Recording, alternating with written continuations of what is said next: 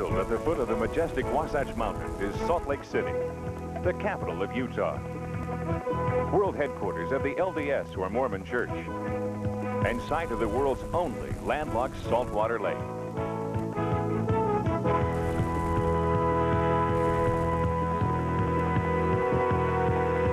And just 23 miles to the south, the site of the Widowmaker Hill Climb.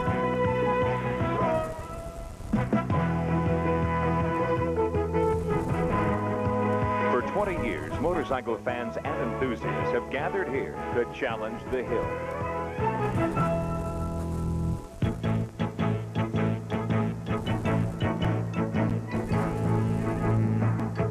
A perilous climb that has been aptly called the Widowmaker.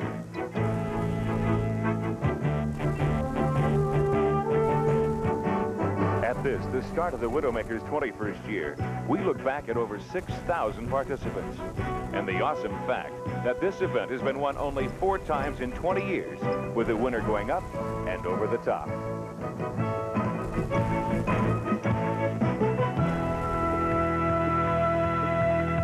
The task is to reach highest on the hill. And if more than one rider makes it, it's the best time that counts.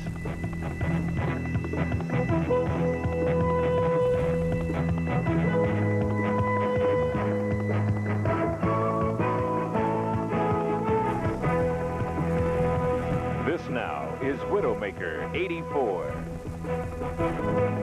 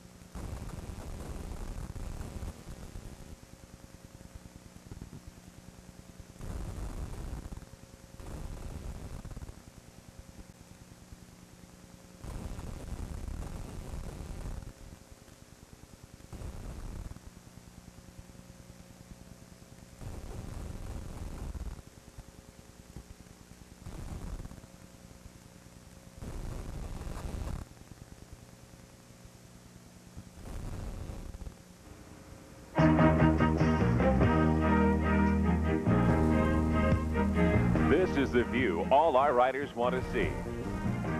This is the view from the top. I'm Mike Scott along with Ted Otto, the 1965 AMA North American Hill Climb champ. And Ted, we're here for the 21st running of this Widowmaker Hill Climb. Below us is the Utah State Penitentiary. Whatever hill goes down there, real or imagined, it's nothing compared to the 1,500 feet of hell facing these 249 entrants. We're running this a little later in the year this year. What kind of shape is this hill in? Mike, the hill is more dry and the dirt is even more loose. And I think the guys with the heavy paddle wheels are going to have more problem trying to claw their way up this one this year. Besides those equipment problems, they have thrown something a little tricky at the top. Tell us about that.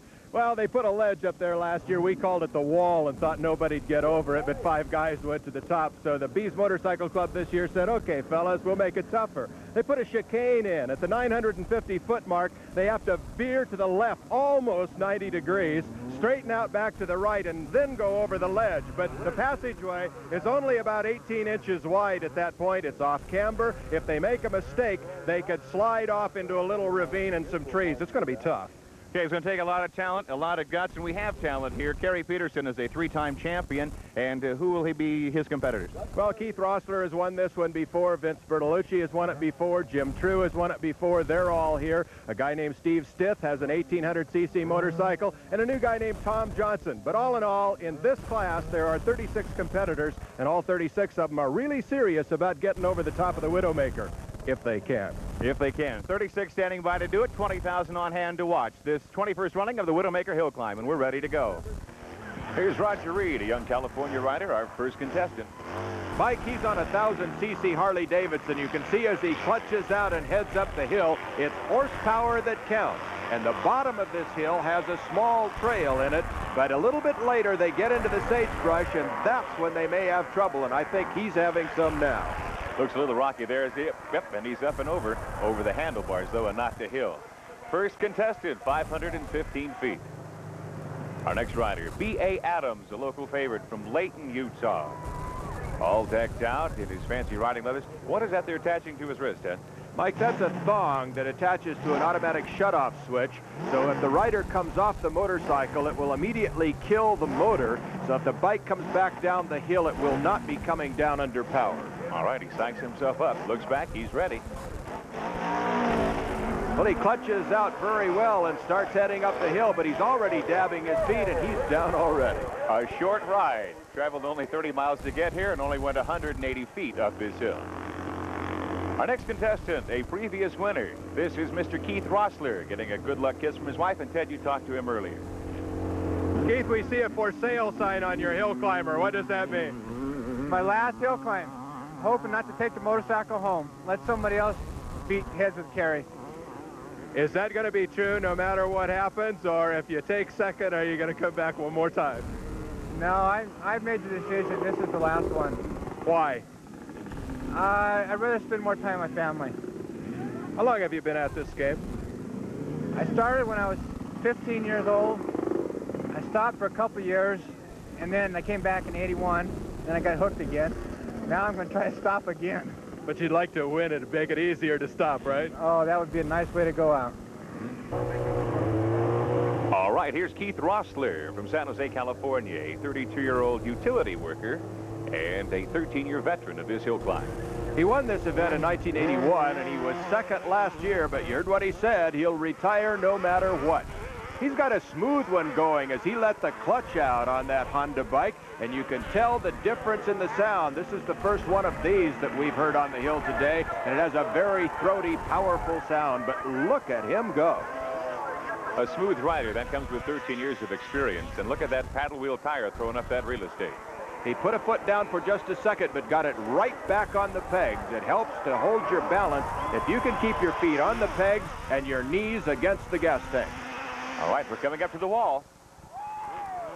Looks like he got out of range of the cameraman, but the news cameraman was in the way. I think everybody believed our PR that nobody could make it that high. 1,123 feet for Keith Rossler. Let's take a look at that again. Mike, we were talking about the smoothness of this rider. Look how he stays right in tight to that motorcycle. He's headed through some rough country now, right out into fresh sagebrush where no one else has been. He stays tucked in tight, takes up the shock with his arms and his shoulders, and he rides it as if he were riding to music. Now here's Tom Elmore, a young rider from Illinois, and he's working that clutch hand and getting that shoulder smoothed out, getting ready to roll, psyching himself up, Ted. Tom's quite a character in his own right. He and his brother have been coming out here for several years. He really wants to win this hill climb, and as you said, he's ready, and he lets the clutch out and takes off up the Widowmaker with a vengeance. You can hear the horsepower of that bike as he's still on the trail where others have been ahead of him. And look at him as he bounces around and uses the shoulders to hold the shock of the bike as he hits the rough spots on the hill. Moving around gives them some more traction also. It also helps get some of the weight transfer back to the back wheel when they need it or they get off the seat if they think they're getting too much. All right, those paddle tires really turning up the real estate. Elmore taking a look at where he wants to go. He's in the sagebrush and he's got to make a left turn. Headed for the bottom of the wall. Can he make it? Up on top, but he's going to dig in, and that's about as far as he's going to go. But it's over 1,100 feet. And your bike ends, your run ends where your bike ends. And Tom's ends up at 1,113 feet. Here's our standings. Keith Rossler, 1,123 feet. Tom Elmore, 1,113 feet. And we'll be back with the Widowmaker 84.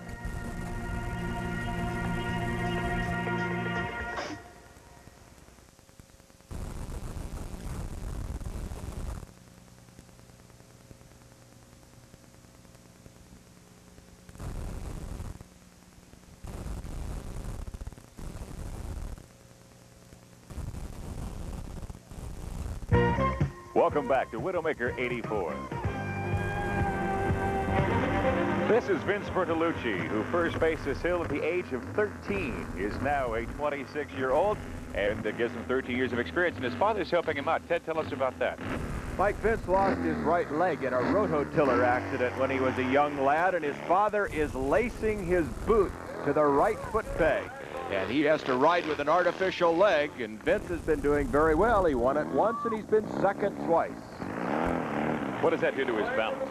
Well, it does put him at a distinct disadvantage. As you watch Vince ride up the hill, he has to stay very rigid on the right side. As he's tied on, you can see only his left leg is dabbing.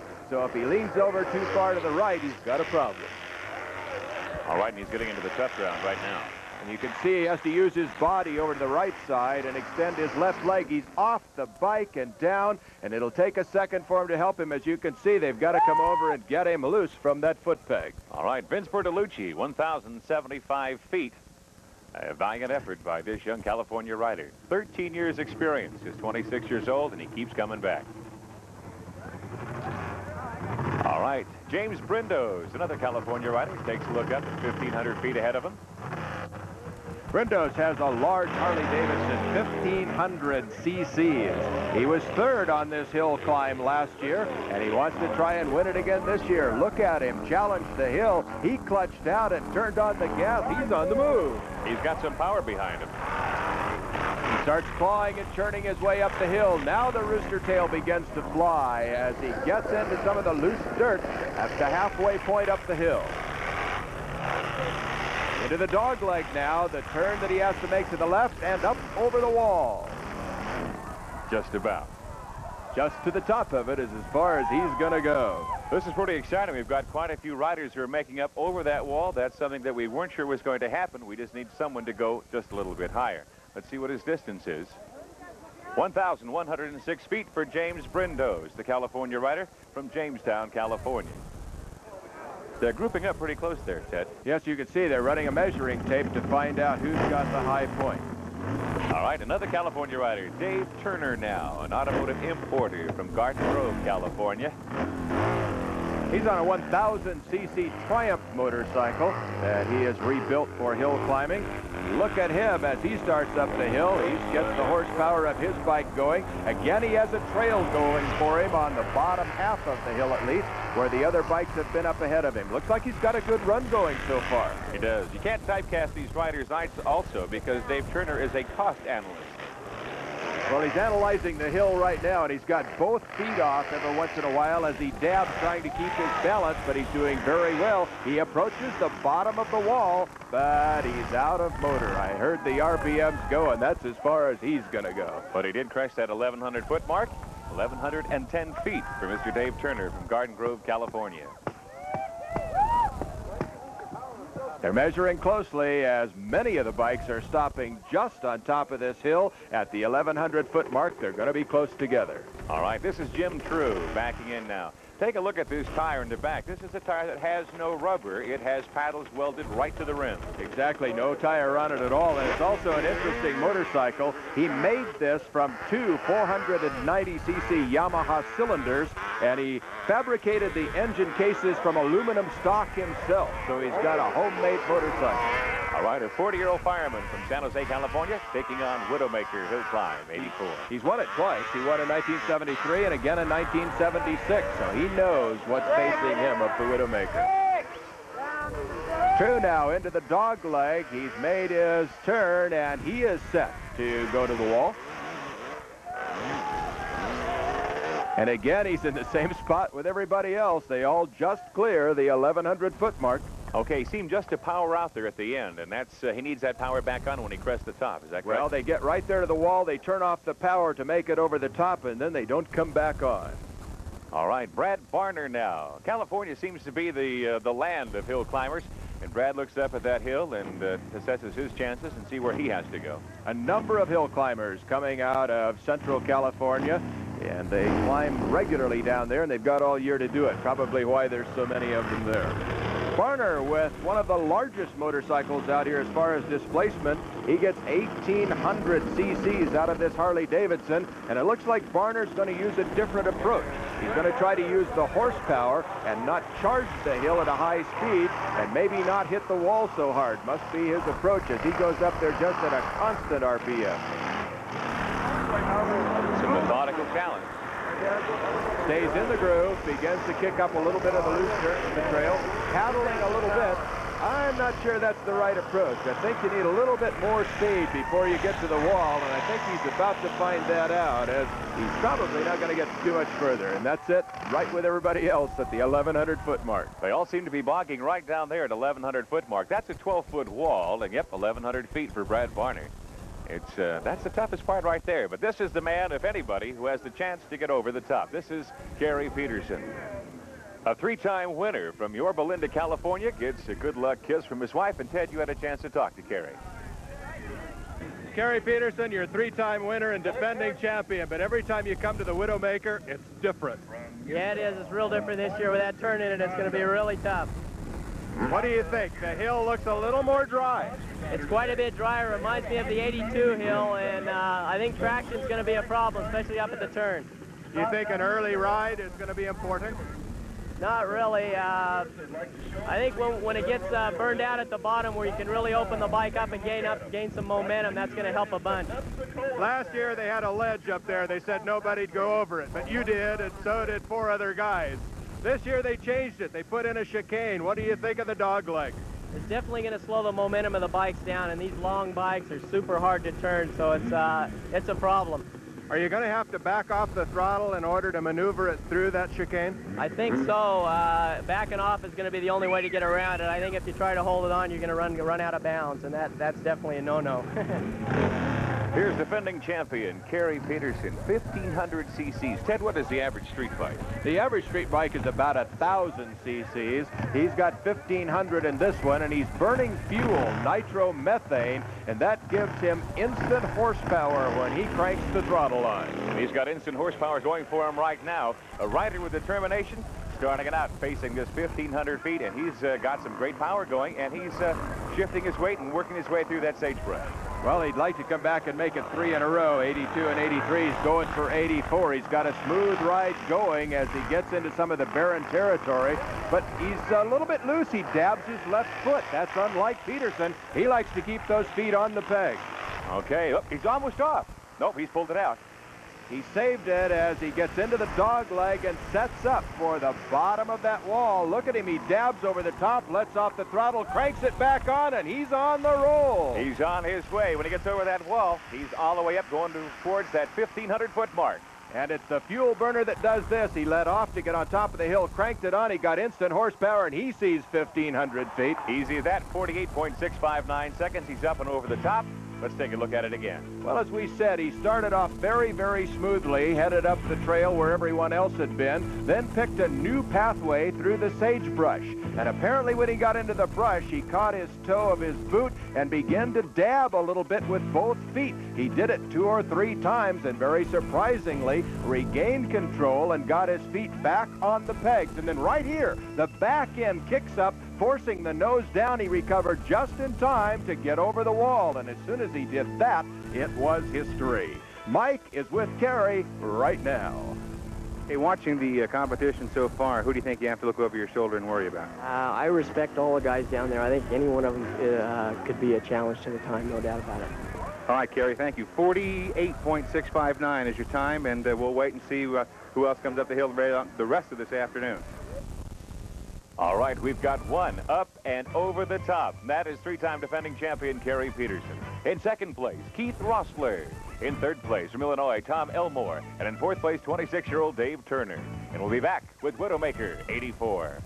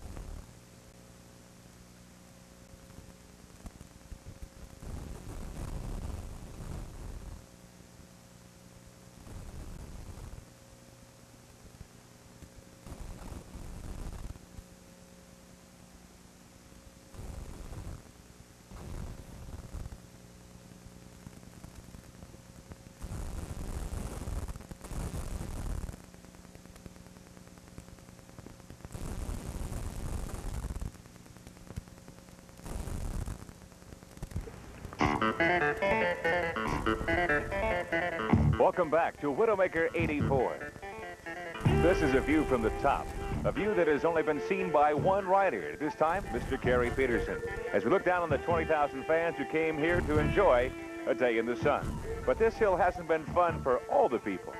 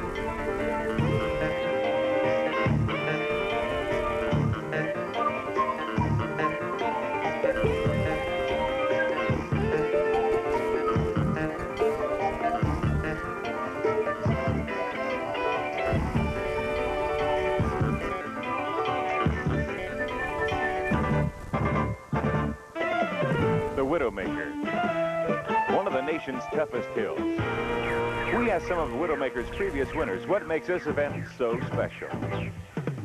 Well, it's just, it's a challenge, and, and I've been riding hill climbs all my life, and this is the big one. Exhibition. And I, I've done good here a lot of times. And, and I just, it's like something we look forward to every year. It's, it's the big event in hill climbing, and, and they only have it once a year. I think it's it's a tough hill. It's a, a fun hill. And the spectators in a crowd is the main reason. And you get to meet people from all over the, the country. And you got a lot of different stories you get to listen to. I think it's just getting everybody together. You can count on all your friends being here every year. Um, we make all of our strategy, and some of it works, some of it doesn't, but we have a good time. It's a great race.